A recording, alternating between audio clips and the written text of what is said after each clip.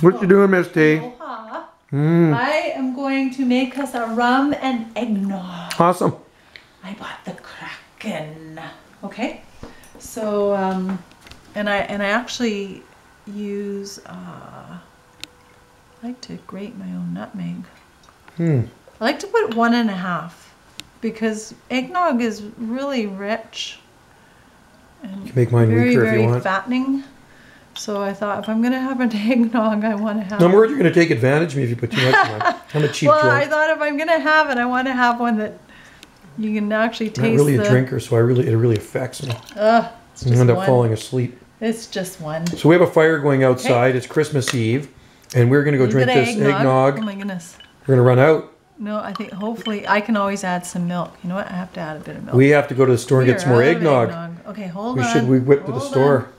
Not done yet. And here's my little nutmeg grater.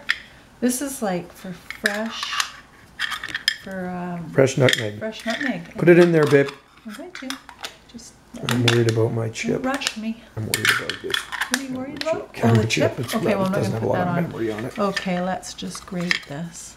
This is how to make the ultimate rum and eggnog. Sailor Jerry rum works really good too. This one. Like Sailor Jerry rum is probably the best. Spicy. Looks good. Nice. hmm Okay, and I'm just hold on, almost done. Mm-hmm. Did you try that on the roof I made? Mm-hmm. I made that. Actually, I think what I'll do is I'll add a little bit of um, I will add a little bit of milk because, which is fine, because you know what, eggnog is so creamy and rich anyway. Or what would even be better is even just adding some almond almond Mhm. milk. But, anyways, this will this will be fine. This is Here, our well, folks, how to Christmas cheer drink. rum and oak eggnog. And we're gonna go out and we're gonna Drink it around an open stand by the fire. fire. Maybe throw a couple of potatoes in there, wrapped in tin Hold foil. on. Here.